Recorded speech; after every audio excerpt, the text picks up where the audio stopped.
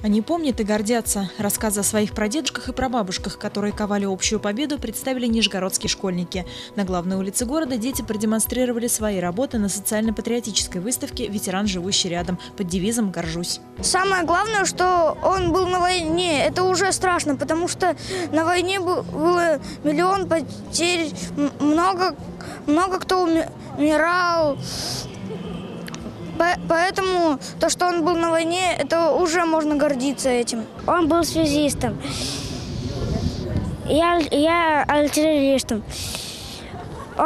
Он дошел до Кёнигсберга. На выставке представлены более 300 творческих работ школьников. Фотографии, архивные документы рассказы о семейных героях из уст детей. Все это может увидеть и услышать любой прохожий на Большой Покровской. Читала их работы о своих дедах, прадедах, до слез эти работы. Для нашей молодежи это очень важно, чтобы они помнили, что их счастливое детство благодаря всем вот, э, погибшим в годы Великой Отечественной войны.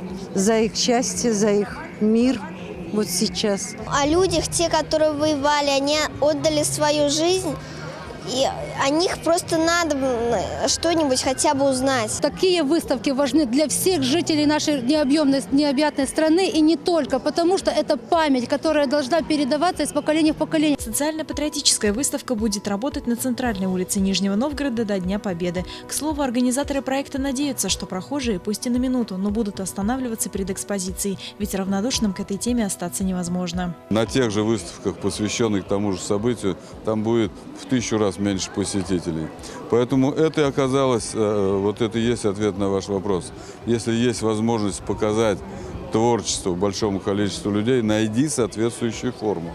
Поэтому посмотрите, выставка на прищепках. То есть она примитивна по своему исполнению, но она дорога содержанием. Кстати, любой желающий может написать имя своего родственника, участника Великой Отечественной войны, на специальной доске памяти. О наших героях должны знать как можно больше людей.